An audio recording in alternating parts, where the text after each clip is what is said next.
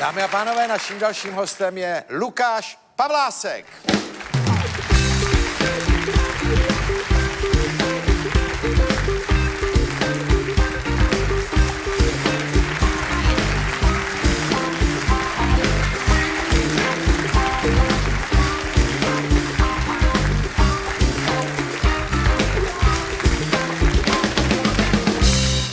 Pan Lukáš Pavlásek tady byl před pár lety, ale teď je tady nutně znova, protože zařadil do svých dovedností ještě tanec. A to nešlo.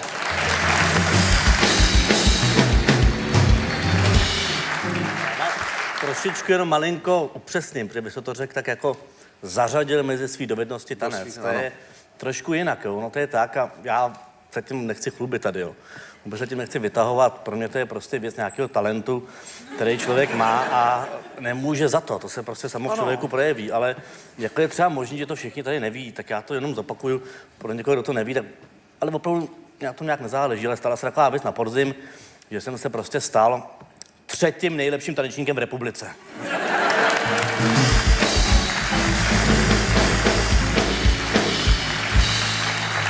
Dokonce první v kategorii mužů. Takhle, Lukáši, dobrá zpráva pro vás, blbá zpráva pro republiku. No, no tak... To...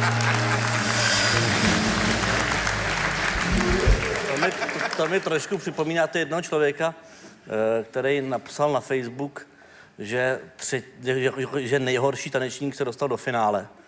To je ostuda a napsal, teď v té Evropě budeme fakt už pro ostudu. Napsal. No, že se to v Evropě asi řešilo někde možná. Ne, ale tak to jste asi zaznamenal, že to vyvolalo určitou bouři, což je tady pro místní prostor typický, že jo? Že velká část lidí naopak fandí takovýmu Pavláskovi v tom tanci a druhá je popuzená tím, komu oni to fandějí. No ale to je vždycky určitý vklad, jakože vyvoláte takovou pozornost. A mm, druhá věc je skončit třetí tečka. Jste bronzový v tanci. No, to už, to už na té Wikipedii bude napsat na furt, že? Na furt, no. Finalista Stardance, je to.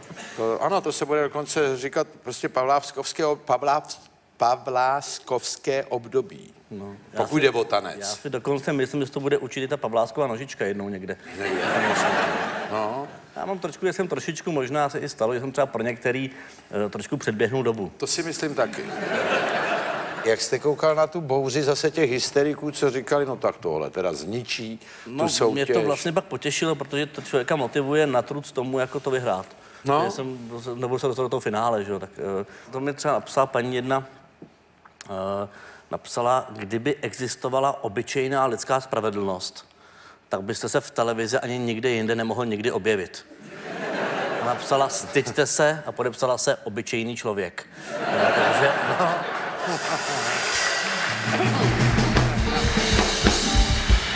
To jsem si říkal, že to asi byla nějaká bývalá domovní důvěrnice nebo někdo, kdo chce někomu jako zakazovat, kde má být, tak to mě vlastně potěšilo, že na trud zrovna uh, takovýmhle lidem vlastně, tak co si bylo říkali, to vlastně dělám dobře. No, uh, nebo uh, taky mi třeba jedna paní napsala, to byla jako reakce, napsala na Facebook, uh, že uh, se v televizi odmítá dívat na hnusný a tlustý lidi. Jo. Na což jsem teda odpověděl, že jako ať není tak vulgární, že Lucka tak hnusná není. A, a,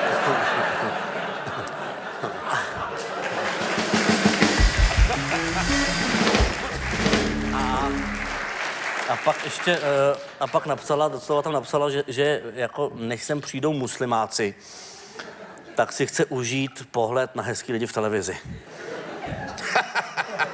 Takže A vy jste jí to zkazil. takže já už jsem v podstatě, pak už se ukázalo, že já jsem v tom národě, ke ty už skoro, mohl skoro za všechno. Já už jsem mohl i za ty uprchlíky, za Ano. prezidenta, všechno už se na mě házelo v podstatě. Jako. A můžu, já jsem si, protože jsem si říkal, že se o tom budeme právě bavit, tak jsem přinesl takový dopis. Jsem Mhm. totiž, já musím říct, že teda 90% e-mailů, co jsem dostal, byly po- pozitivní. Jo? To bylo Jo, takových jenom ale tenhle je nějaký 10% hnusnej. vypečenější. Ale tenhle ten je opravdu hezký. Já je mám taky rád, no, to je dobrý. Napsala Přečtěte paní, to. protože ten je opravdu hezký, ten pozitivní právě, ty, a to jsem chtěl tady poděkovat paní, protože paní mi napsala, ona zavolala do televize, že aby to tam, nadiktovala to tam, že Jo. to už ne, nemůže napsat a napsala, vážený a milý, jste v křeči.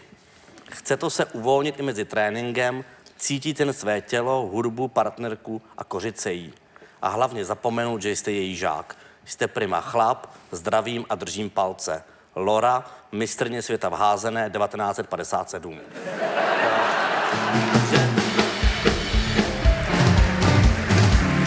To jsem chtěl poděkovat paní Loře, jestli se dívá, takže jí děkuju. S ohledem na tohle bych řekl, že se bude dívat na tenhle díl s vámi. Ano. Prosím vás, a eh, vy ale si žijete tak na svobodno pořád, protože ono někdy tyhle ty tance vyvolávají v těch partnerských eh, vztazích trošku napětí, to u vás nehrozilo? Ačkoliv jste taky možná trošku v tom měl problém, ne? Neměl? Ne, u mě to nehrozilo, u mě to fakt nevyvolávalo. No u vás protože- ne, ale myslím třeba vaší partnerky, že jo? Ne, u ní taky ne. Ona věděla, že já s tím tancem, že já jsem tak jako soustředěný na ten tanec, že vlastně pokud jako někdo do toho tance dostane ten erotický náboj, což No. tam někdo dostane, tak já to nejsem schopen, protože já se uh, tak soustředím na ten krok a tak hledám ten rytmus, že vlastně už to další je taková nadstavba, který já vlastně vůbec nedokážu dosáhnout. Takže ona No. uh, tomhle ohledu, že bych jako eroticky tu partnerku okouzlil, byla úplně Ne, ale bude taky...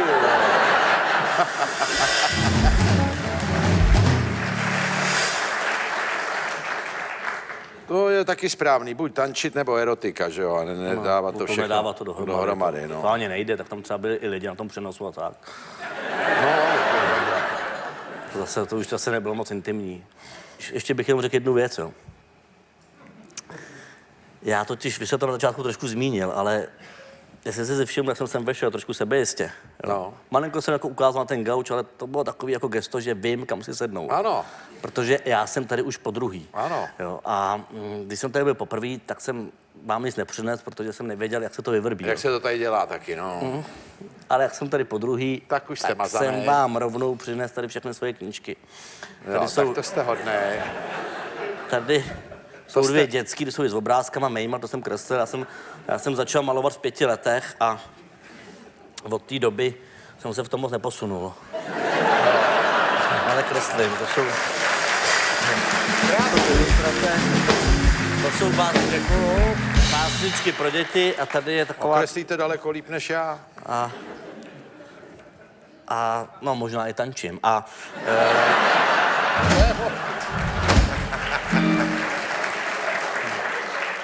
tady je knížka z deníku Ajťáka, to je taková proza, kterou jsem napsal nedávno, taková humorná, takový humorný příhod, takový ajťácký party. A proč ajťácký? No, ono to vzniklo tak, totiž původně, že mm, mě oslovili z jednoho časopisu asi před několika lety, abych tam psal nějaký sloupek, to byl to časopis o IT, abych tam psal nějaký humorný sloupek a já jsem si myslel, to vymyslel nějaký seriál. Jo, takže, a pak jsem z toho udělal knížku.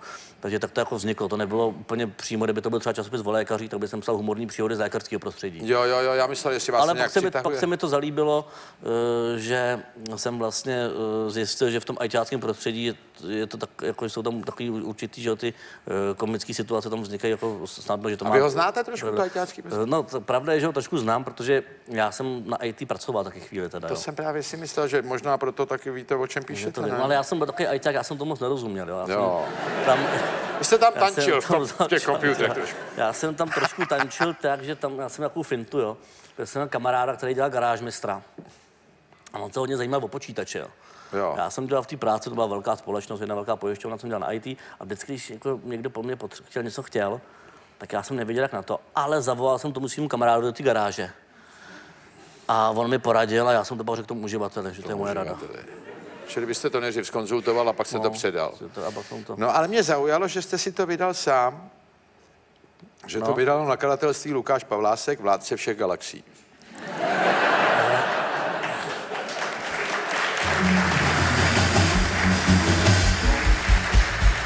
Jsem se přesně těšil, až na ten název řeknete, protože já jsem si na pozemníka založil nakladatelství, že si budu ty své knížky vydávat i. A, uh, tak, eh, a teď jsem přemýšlel o tom názvu a právě se mi líbí ten název Vládce všech galaxií, protože ze zákona, když se jako fyzická osoba založíte nakladatelství, tak musíte mít jméno, pomlčka a název nakladatelství. Aha. A mně se právě líbí, že takhle v nějakém pořadu nebo někde se to musí, musí říct ze zákona celý. Lukáš Pavlásek, Pavlásek, pomlčka, Vládce všech všech galaxií. No ale řekněte mi, to mě ohromně zajímá a mně se to líbí, že si to vydáváte sám. Já to považuji za takový výraz určitý nezávislosti po všech stránkách. Vlastně tohle začátek toho vydavatelství. To je první, prv, první knížka, no, z deníku Ajťáka a teďka v tom vydavatelství chci pokračovat. Zatím teda chci vyda, vydávat zatím jenom svoje knížky, protože já to chci mít tak, že vždycky, jako co vydělám na té knížce, tak chci vydat další. Aha. Takže teďka chci vydat knížku pokračování toho deníku Ajťáka, to už mám název, bude se jmenovat Ajťáci vrací úder. Ajťáci? Ajťáci vrací úder. Ajťáci vrací úder. No a novou knížku dětskou chci vydat takhle. No ale tak o, tady koukám 245 korun, docela drahá, ne? To je normální cena za knížku. Jo. To, to knížky stojí třeba tak od 150 do, tři- do 300 korun. Je. No to já vím, ale tak, že jo, třeba Eko, nebo tak dobře, no ale Pavlásek by mohl být levnější první knížka. Tak ne? ten, pap, ten papír, ten papír a ta barva a, a ten tisk, to je stejně drahý jako u kohokoliv jiného. Jo, Eko nebo Pavlásek.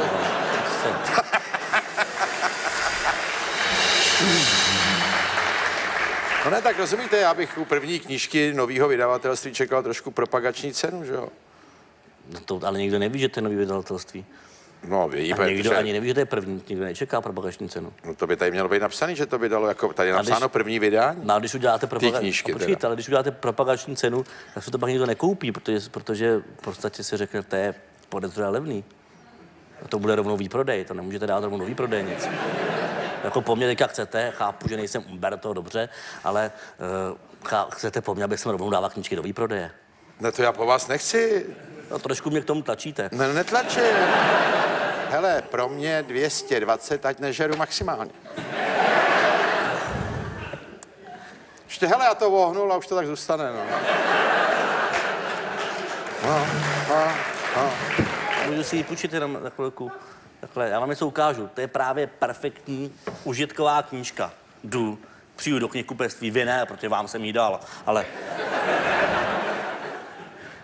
Přijdu do knihkupectví, vyberu, prohlídnu, řeknu si, tak to je špičkový. Po pár řádcích koupím, zaplatím 245 korun, protože mi to nedělá problém, protože vím, kolik stojí knihy, místo pár piv nebo pár vod si koupím knihu, což asi vám nic neříká, a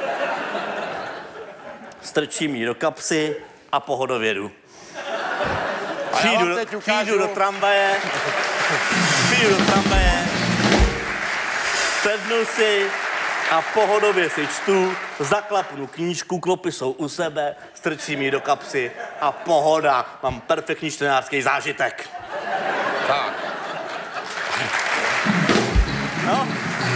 Ukažte, ukažte se. Kolik stojí tahle knížka? 40 dolarů. 40 dolarů. To je zadarmo. Samozřejmě je to kniha fotografická, No. takže samozřejmě na jiném papíře je vázaná. Hele. 40 dolarů. No, to by tahle musela stát dolar. Hele, No, Já vidím, vypadá a položím. perfektně. Vypadá perfektně, no tak je to... Je to Nebo samozřejmě, do knihovny. Tohle. je to samozřejmě fotografická kniha. Má to samozřejmě trochu jiný, jiný je rozměr, to asi je vázaná. kniha. A tohle je pravý americký paperback pro pohodový čtenáře a ne pro rejpavy. Lukáš